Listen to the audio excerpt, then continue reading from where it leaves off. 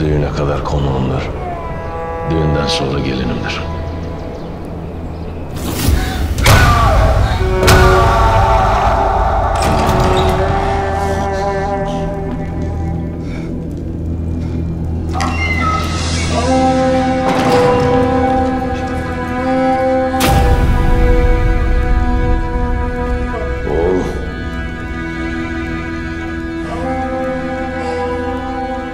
Elini mi çarptın?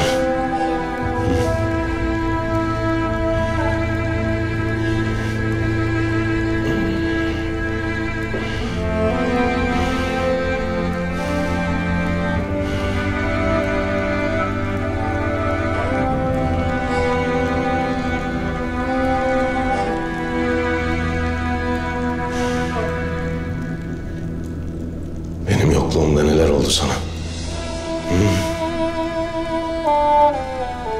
Acıdan değil de öfkeden bağırırsın sandım. Ama öfken de eksik değil mi?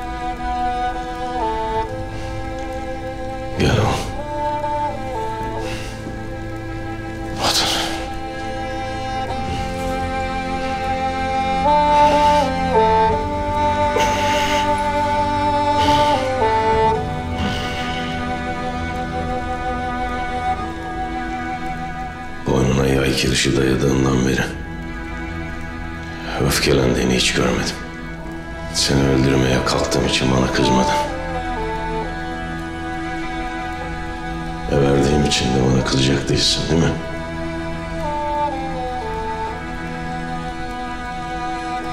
Ama anan kızgın. Düşün de gördüm. Uçma kapısından çevirdi beni. Ben de acına düştüm. Uyandım. Uyandığımı herkesten sakladım. Sakladım ki senin kandaşlarınla benim kandaşım neler yapacaklar bir göreyim. Gördüm ki senin kandaşların benim kandaşımdan akıllı çıktılar. Benim kandaşım Balamir'in üstesinden geldiler. Ama benim kandaşım Balamir inattır. Kızını rehin almazsan durmaz. O yüzden birazdan sen de kır çiçeğin parmağına bu yüzükleri takacağız. Sanmayasın ki bunlar yüzüktür. Bunlar prangadır. Çin'le barış içindeyiz. Çünkü kızları oğlum Temur'a prangalıdır. Rus varekler baş kaldırmaz. Çünkü prensesleri benim parmağıma prangalıdır. Balamir de yola gelecek. Çünkü kızı sana bu prangayla bağlanacak.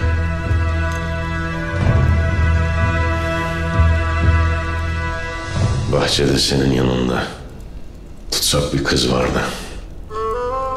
Bana öfkeyle baktı. Niye? Çünkü kendini tutsak bizi hür zanneder. Oysa onun prangalarının kilidi bir gün açılır. Bizimki... Bizimki ölene dek açılmaz.